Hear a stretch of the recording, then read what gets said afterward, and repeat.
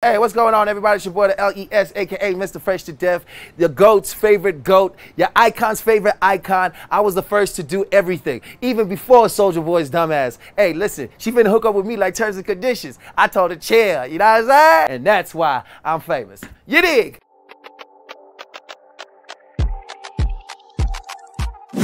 Did AKA make me more famous or did I make AKA more famous? I think we, we both met each other at the right time of, of our career. Did get into the game before him. I think we both made each other famous at the same time. John Cena followed me, he did. Um, did it make me more famous? No, it didn't. It didn't make me as famous as Sho Madjozi, so I'm very jealous. I thought I would at least get a visit from John Cena at the all white party or something. I am for love and I am for hip hop, but I'm for hip hop first because I found love in hip hop. Write that down.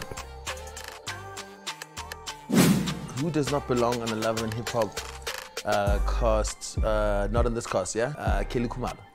Because she got a lot of shit to take care of. You know what I'm saying? She, yeah, she, I don't think she need to get on TV.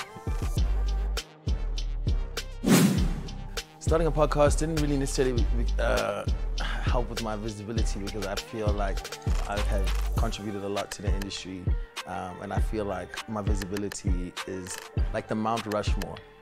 My face is always gonna be there in your dreams, when you wake up, in the north, or even here in this house. I don't even know where we are. Where are we?